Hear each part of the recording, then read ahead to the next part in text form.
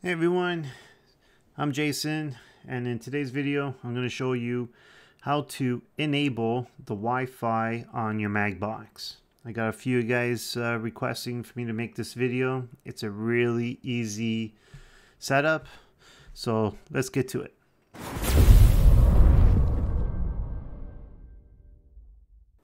So as you can see I'm getting this page simply because I don't have the Ethernet cable connected uh, as you can see on the, there on the right, not connected. Underneath it, it says Wi-Fi disabled. So if you get this message, if you don't, you're going to get the actual settings page. And what you want to do is go to the system settings. Now, right here, first option, network, press OK. So here's wired and here's wireless. Uh, First, I want to mention that not all boxes have built-in Wi-Fi. If you flip your box upside down, look at the model number. It's got to say, it's going to have a W on it. It's going to say W1, W2, W3, but it has to have that W at the end. This box I have right here in this video, this is the MAG 322W1. So it does have the Wi-Fi option. If your box doesn't, I'll put a link in the description of the dongle that you can actually, it's a Wi-Fi dongle. You just plug it in the back of the box. You cannot plug in the front. It has to be in the back. And it will give you this option as well. So what you're going to do is you're going to go into wireless. We're going to click OK. First option, auto. Press OK.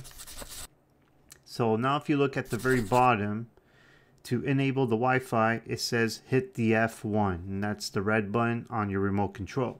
So I'm going to hit F1.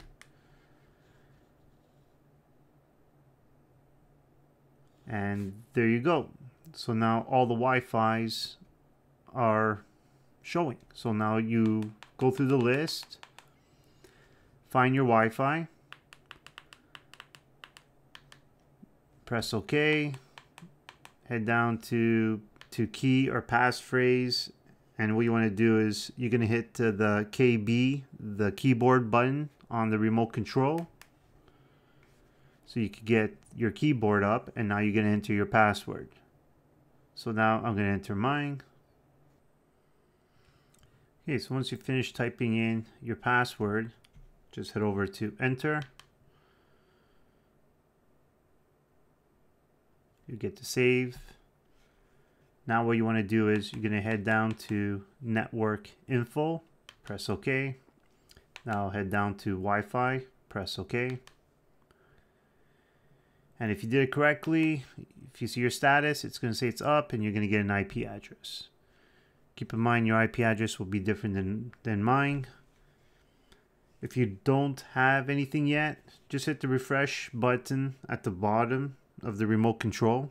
Now exit, exit, and that means you did everything correctly. Once you do that, now we're going to head over to reboot device, press OK, press OK again,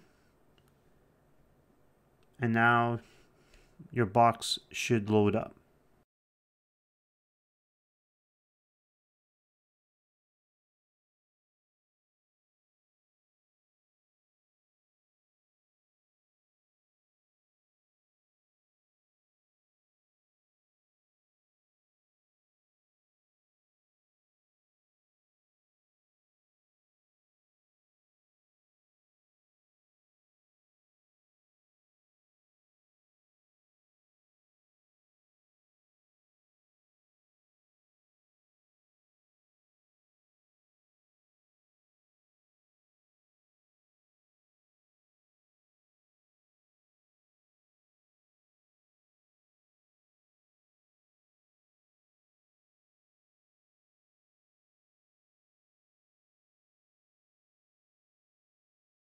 And there you go. That's all it's to it. So it's that simple.